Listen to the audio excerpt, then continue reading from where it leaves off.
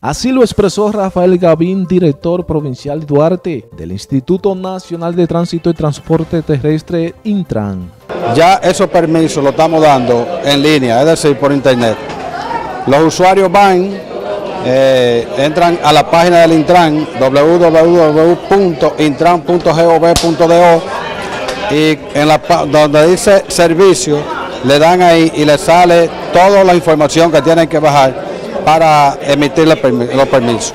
Es decir, ya no es necesario venir por aquí, por la oficina de tránsito, ahora Intran, a buscar esos permisos, sino que ya lo pueden hacer por internet, siempre y cuando lo que vayan a transportar sean alimentos que duren poco, como carne, huevo, leche, damos permiso para combustible, damos permiso para transportar agua potable y otros permisos especiales.